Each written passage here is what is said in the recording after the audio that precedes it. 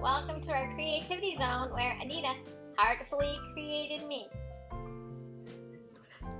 Welcome to Heartfully Creating Polymer Clay Journey. Today it's about tube beads. So have fun in making large hold tube beads. I have yet to really make anything with these yet, but I was too excited and wanted to share them.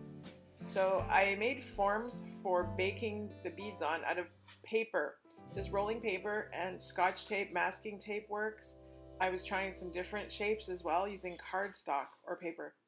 So you start out by rolling out clay sheets in whatever color you want to make the, the base. I kind of made like a base for the beads to decorate after.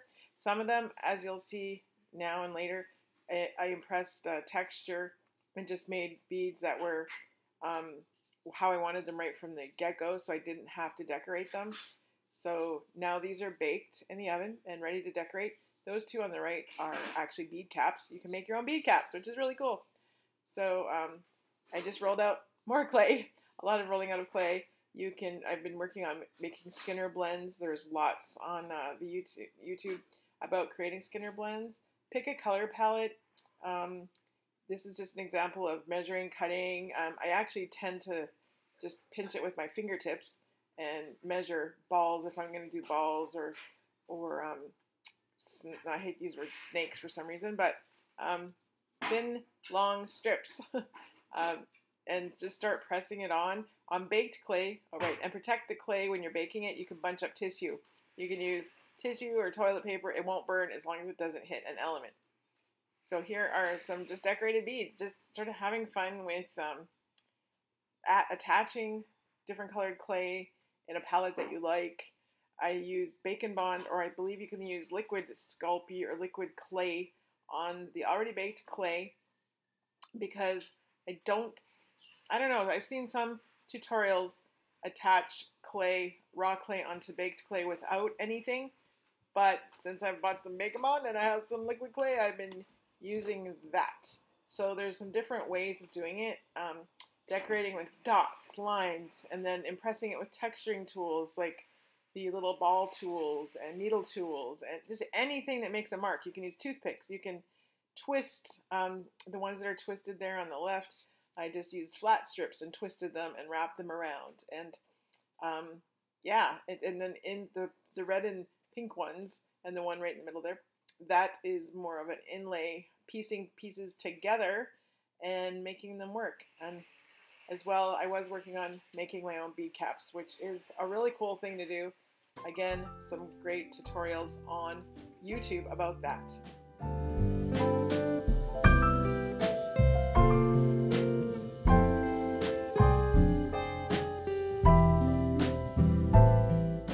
Remember, if you want to sand, only sand with water because it's not very healthy to breathe it in. Then I took, you can see the acrylic paint there.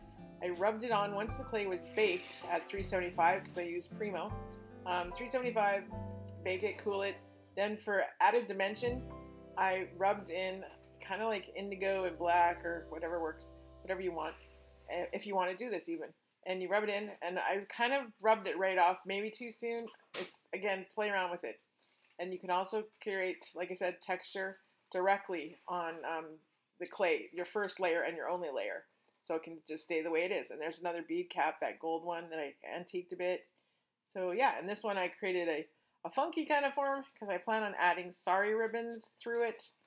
Again, that's a new thing for me. I haven't used it yet. So, and this was again just cutting and piecing together the um, uh, uh, Skinner blend that I did. So give it a try. Do whatever you want. Whatever makes you happy, whatever you want to do. I also, sometimes if I do glaze, I've been using water-based polyurethane. I think I have the wrong brand, so double check on that one. Make sure it's like a white liquid. Mine is yellow and it's yellowed some of my beads. So hope you enjoyed this and are inspired a little. So thank you. says thanks for watching. Subscribe, share, like if you want on email at creation at gmail.com. Love to hear from you.